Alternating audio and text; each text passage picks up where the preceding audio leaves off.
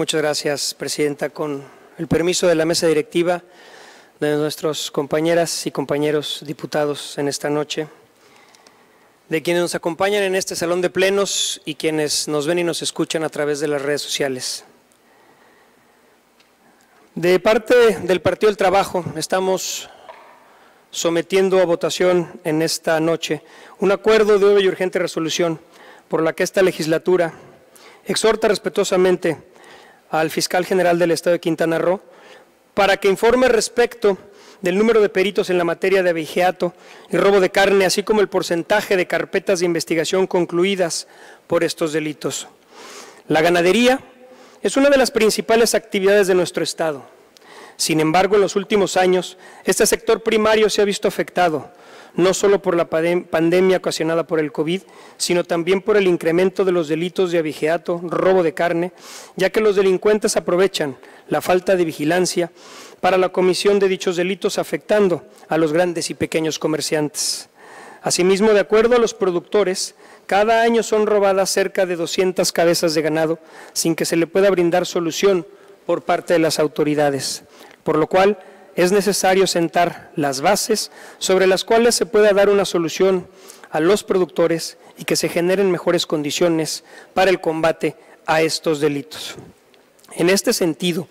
y en aras de coadyuvar con este sector primario de la población es que en fecha 7 de noviembre del año pasado, así como de 16 de marzo, la diputada Alicia Tapia Montejo envió diversos oficios al titular de la Fiscalía General de Justicia del Estado de Quintana Roo para que informe respecto de los peritos en materia de abigeato o robo de carne,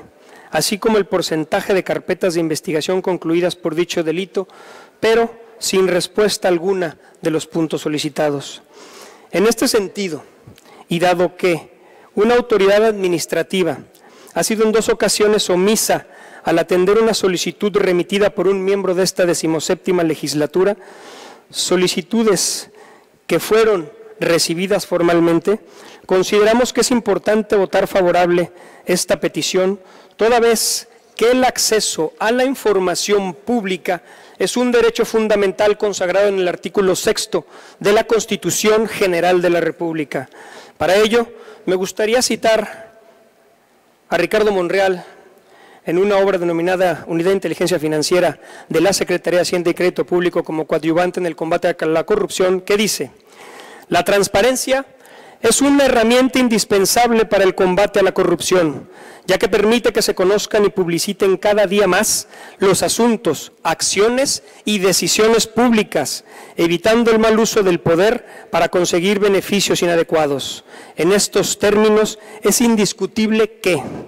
como principio de gobernanza, todos estamos sometidos a cumplir por igual con la ley las personas, las entidades públicas, las entidades privadas y el mismo Estado, cuidando siempre y observando la supremacía constitucional. En este sentido, se propone el siguiente acuerdo. Primero, que la decimoséptima legislatura del Estado Libre Soberano de Quintana Roo exhorte respetuosamente al fiscal general del Estado a que informe respecto del número de peritos especializados en el delito de abigeato, así como los expedientes concluidos por el mismo. Y segundo, evítese el contenido, envíese el contenido del presente documento a la Fiscalía del Estado para los efectos legales conducentes. Es importante mencionar que se trata de un derecho constitucional y de una obligación que tenemos todos y cada uno de nosotros con fundamento en el sexto de la Carta Magna. Muchas gracias. Es cuanto.